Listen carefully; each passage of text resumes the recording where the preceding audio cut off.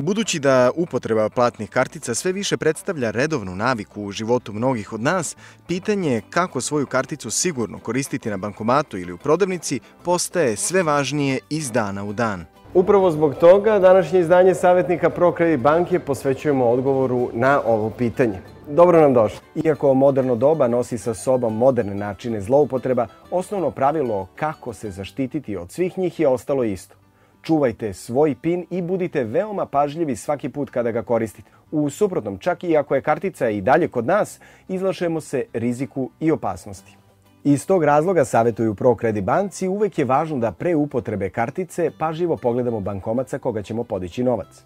Ukoliko primetimo neka oštećenja na njemu ili nam se učini da na bankomatu postoji nešto čega ranije nije bilo, najbolja odluka je da ga ne koristimo. Najbolji savjet za korišćenje kartice je da naš PIN kod jednostavno zapamtimo. Ako već moramo da ga zapišemo, da to nikad ne činimo na poleđini kartice ili ukucavanjem broja u mobilni telefon i da taj broj nikada ne nosimo sa sobom.